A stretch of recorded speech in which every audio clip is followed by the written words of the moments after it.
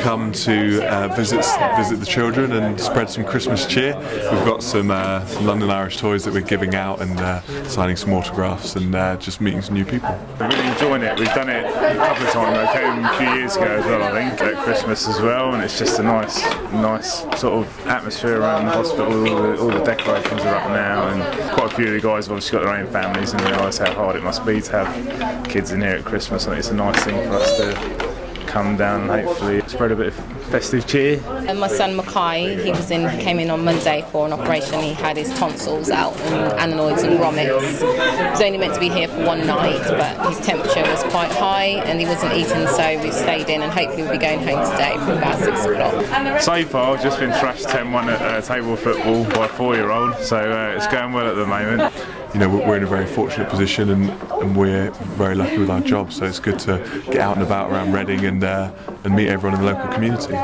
Just now he was told the um, Irish players are coming in. So when I, he was like sleeping I said oh do you want to go down to the playroom? And he like you know woke up and was like yes yes because he's really active and he likes his football.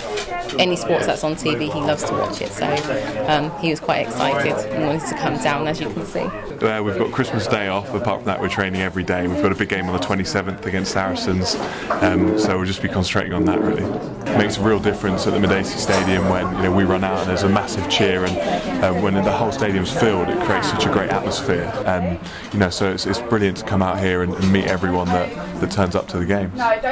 Anything we can do in this in this area in this part of the world, I think is is uh, giving a little bit back really, and that's you know the players are as keen to do that as anyone. So um, yeah, especially something like this as well. Really, it's rewarding for us as well as as hopefully enjoyable for the kids as well.